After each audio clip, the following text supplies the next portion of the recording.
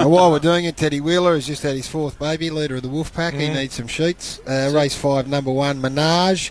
Here's the Wolf, Menage. the wolf special for the day. Yeah, it's- it's- oh, responsibly. uh, Dicko's ears have just popped up. Yeah. That's what, ru- taking you back, Dicko? Yeah, I might just, yes. Remember to gamble responsibly. Listen to him.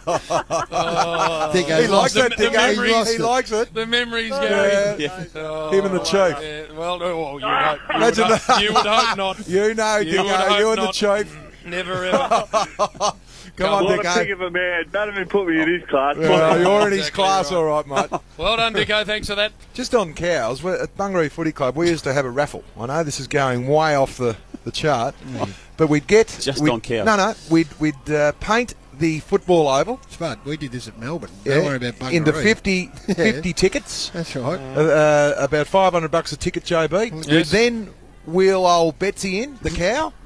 We'd drop her in the middle, and then you'd try and herd her in. So the first bit of droppings that went into the square won the raffle. Spud, And it was one of the great days of we did footy. this at the Junction Oval at, At the junction, level, did you? run by I think that stupid boy Paul Hopgood, and it was an all you drink affair, Jim. Yeah. That's it. And by the time the cow had done the right stuff, everyone was that gone.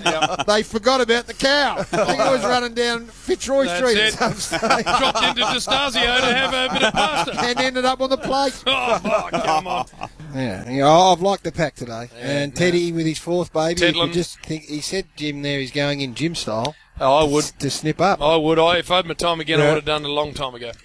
Hey, uh, I'd like to Oh, lock off. hang on a And, minute. Before three Let's back over or- that. Afternoon to Freddie. and Yeah, Jim. let's back over that a seven. So I've waited seven years. I would have done it at the moment he Yeah, arrived. well, that's all right No, then. better. I'm glad much you better. rephrased That's a long it. time no, ago. well, I was we thinking, yeah. I'm glad you rephrased Obviously it. not prior to my son's Well, birth, that's the way- I'm saying as soon as he was born, I would have gone straight in. Garry's two brows went into one again, and I thought there's something here. He picked up on it. No, just went, whoop. Uh, no, none of that.